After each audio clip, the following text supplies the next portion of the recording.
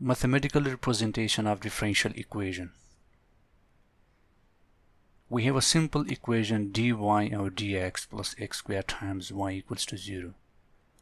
It is a differential equation. How we know that? Let's have a glimpse back to the previous lecture.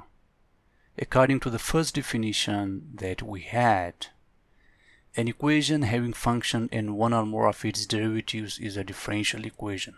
So according to the first definition, we have a derivative term here which is dy or dx and therefore it is a differential equation.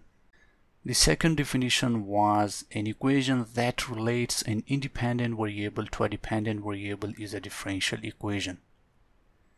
Now according to the second definition, y is a dependent variable and x is independent variable here. y always depends on x and that's why we call it a dependent variable. But x does not depend on y and therefore we call it independent variable. I can also use some other notations for derivative term which is y prime y dot d sub x times y. These are just the symbols to show the derivative term. You can use any notation for derivative term. I just mentioned that y is a dependent variable and x is independent variable in this equation.